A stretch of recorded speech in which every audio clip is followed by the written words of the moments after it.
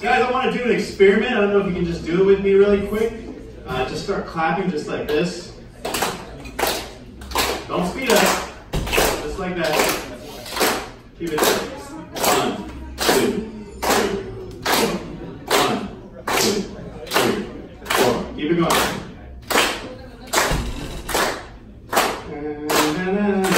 Impeach Navidad. Impeach Navidad.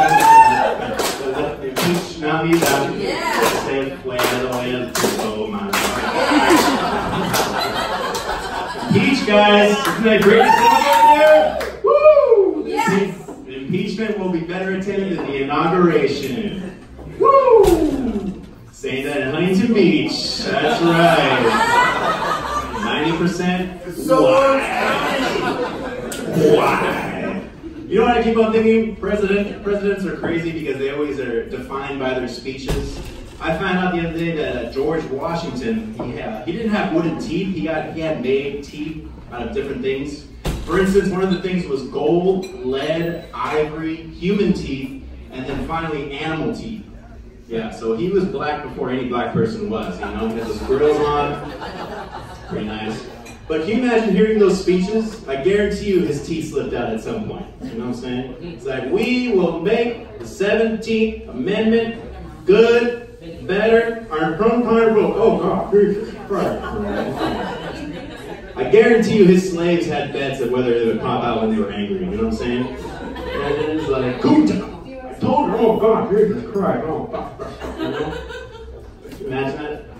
Slaves probably like made like bets like, hey man, if you get angry enough, they'll pop out. It's like, ah, I don't want to deal with that today, you know.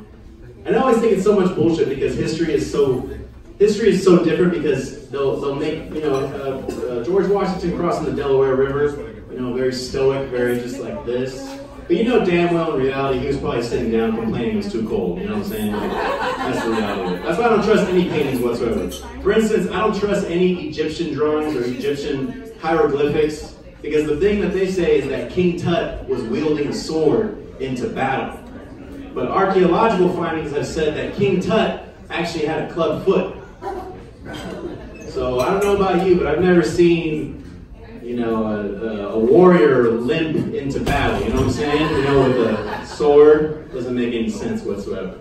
I guarantee you, the guy painting it was like, no one's gonna know he had a club foot in 2,000 years. No know whatsoever. Uh, guys, I don't like fighting. Surprise, that's right. I think any fighters in here? Anybody ever been in a fight? No, we're all pussies. Okay, cool. That's awesome. That's great. Me too. Join the club. Uh, you have you been in a fight, sir? Oh, look at that. I gave him the silent treatment now. Like, oh, he winked at me right now, so he's like, oh, fucking kill you, dog. That's right. Oh, oh, he's just like, oh, don't talk about it. Don't talk about it. Did you win? Did you start the fight? Oh, you lost. Oh, that's cool. Hey, hey, you're a man. No, that's a real man right there. That's a real man. Admits when he lost. That's right.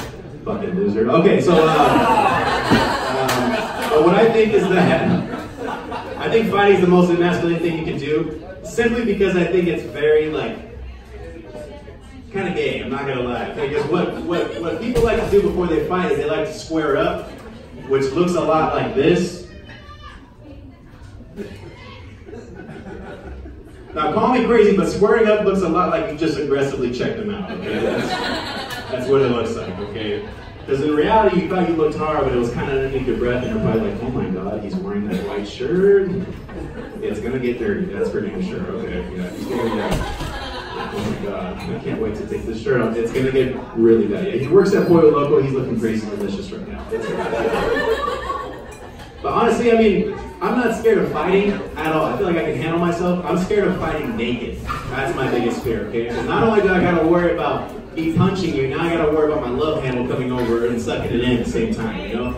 Especially if somebody records it. No one's gonna remember if you won the fight, if they're recording it. No one's gonna remember shit if you want to fight. They're only gonna remember the Nickelback tattoo on your ass, man. That's it. That's all I'm gonna remember. Terrible. Uh, let me see. Folks, I, uh, my seven-year-old sister, she came up to me yesterday, and she looked me dead in the eye, and she goes, Frankie, I wanna be a gold digger. Yeah. Pretty bold statement for a seven-year-old to say. And I asked her, why do you want to be a gold digger? And she said, because they don't have to work. Crazy, right? now. In which I replied, well, they are not ugly. So uh, stay in school, please. God. All right, guys, been my time. Thank you guys so much. Keep it over, man.